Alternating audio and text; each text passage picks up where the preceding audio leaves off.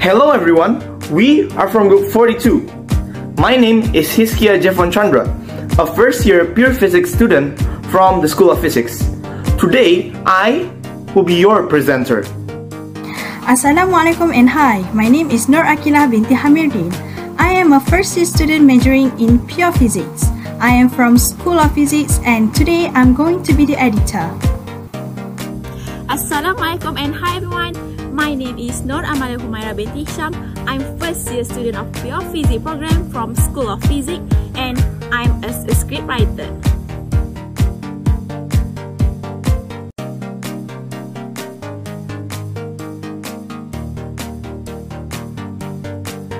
Do you guys have any idea of what this is? Is this just a machine? Of course not. It is an electromagnetic therapy. So have you heard of it before? If not, that's okay. Let's get started.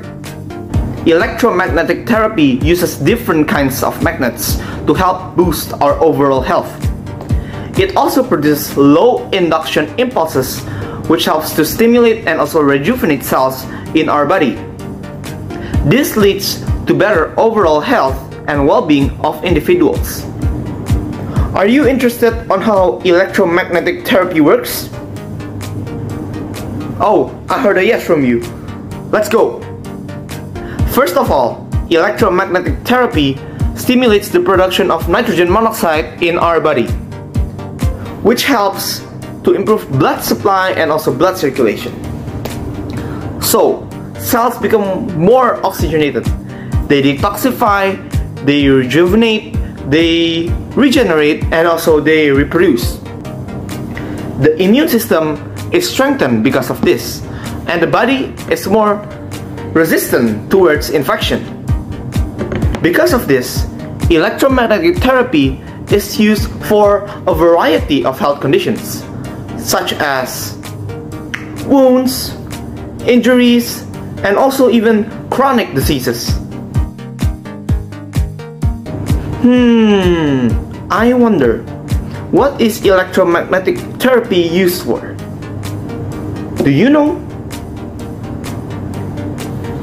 Electromagnetic therapy is used to treat arthritis, fibromyalgia pain, Alzheimer's, multiple sclerosis, Parkinson's disease, osteoporosis, leg ulceration, pain and migraine, stress and depression, sports injuries, lethargy, and athletic performance. So who are not allowed to undergo electromagnetic therapy? First, it's the people who wear pacemakers. So why is this so? Electromagnetic therapy induces or emits electromagnetic fields which may interfere with the proper function of how the pacemaker works. Second, pregnant people are not allowed to undergo electromagnetic therapy. This is because electromagnetic fields induced by the therapy can disturb the development of the fetus. So they may change the DNA structures of the fetus that can cause permanent disabilities to the babies. Do you know the benefits of electromagnetic therapy? No? Mm, it's fine, I will tell you.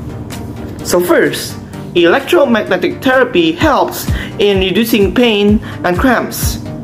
Second, it helps to improve the body's blood oxygen supply and also circulation throughout our body. Third, it helps to improve our body's immune system and also resistance towards infections.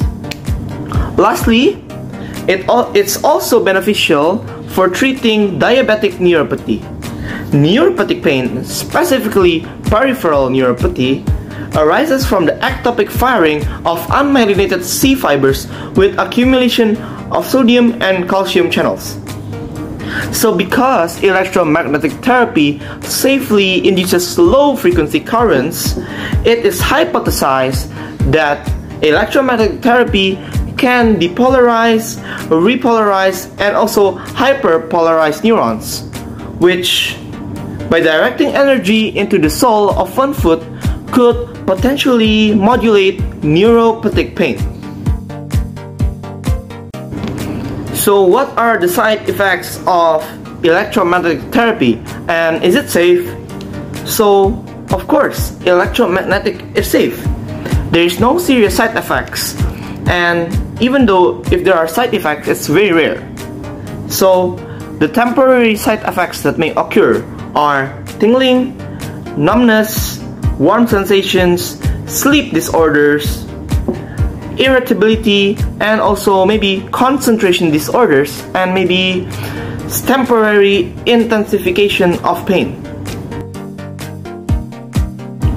The reaction of the electromagnetic therapy depends on several factors, such as fitness, age, and also lifestyle. For sport injuries, the reaction of this treatment is usually very quick. It's usually just for several days. For high cholesterol and high blood pressure levels, it usually takes for around 3 to 4 months for cholesterol and 1 to 2 months for high blood pressure to become better. Lastly, for osteoporosis, it's usually noticed from the range of 6 to 12 months that their bone density increases with a such significant amount. In conclusion, electromagnetic therapy is useful to relieve pain, improve the functions of the body, boost the immune system of people, and treating some diseases that are quite hard to treat. Electromagnetic therapy may be, may be the future of medication. Besides that, electromagnetic therapy is also well tolerated with no reported negative studies and side effects that come from this therapy. Therefore, it is very recommended for people, especially people who needs extra treatment to choose electromagnetic therapy. And that's all from us. Thank you.